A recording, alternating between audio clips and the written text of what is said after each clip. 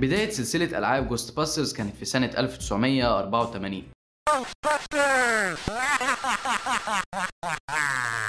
أصدرت Activision أولى إصدارات اللعبة من تصميم المبرمج David Crane وكانت بنفس اسم الفيلم اللي نزل في نفس السنة Ghostbusters وفي الوقت ده اللعبة كانت متوفرة على الكمبيوتر وتوفرت على أجهزة ال console كتير من أشهرهم أتاري 2600 Sega Master System و NES ولأن اللعبة اتكتبت في ست أسابيع بس من David Crane فاللعبة كانت بسيطة جدا. بتختار عربية من الأربع عربيات اللي تقدر تسوقهم وتبدأ رحلتك بإنك تجمع معدات وتجيب فلوس عشان تخلص المهمات وتبدأ game جديد بالفلوس اللي كانت معاك في ال game اللي فات. وده خلى اللعبة تكون عبارة عن loop والتقدم السلس لل game اللي بعده. نقدر نعمل skip لكل النسخ اللي في النص ونوصل لنسخة Ghostbusters The Video Game 2009 اللعبة قدمت لنا طريقة لعب جديدة